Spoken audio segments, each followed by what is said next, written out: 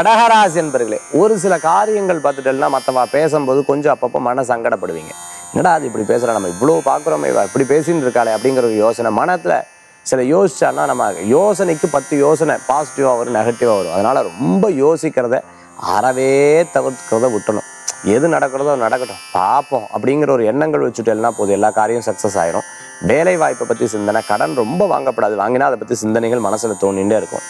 நீங்கள் கொடுக்க வேண்டியதை மற்றவங்க ரொம்ப கேட்டுகிட்டே இருப்பா. அதனால் மற்றவங்க கொடுக்க வேண்டியதை நீங்கள் கேட்கவே மாட்டேன் இதுதான் ஒரு விஷயமா இருந்துருக்கும் அதே மாதிரி சமயோஜித புத்தியோட ஒரு சில காரியங்கள் பண்ணுவேன். உங்களுக்கு சக்ஸஸாக இருக்கிறதுக்குள்ள வாய்ப்புகள் நிறையா இருந்துருக்கும் இன்றைய தினத்தில் பார்த்துட்டு உங்களுக்கு தேவையான பொருட்களை வாங்கி மகிழ்ச்சி அடையக்கூடிய அற்புதமான தினம். சொந்த பந்தங்களை சந்திக்கக்கூடிய வாய்ப்புகள் இன்றைய தினத்தில் உண்டு. கடகராஜ் என்பர்களுக்கு இன்றைய தினத்துக்குண்டான அதிர்ஷ்டமான எண் ஏழு நிறம் மஞ்சள் வழிபாட்டுக்குண்டான தெய்வ நவக்கிரக வழிபாடு வெற்றி வழிபாடு இன்றைய தினம்.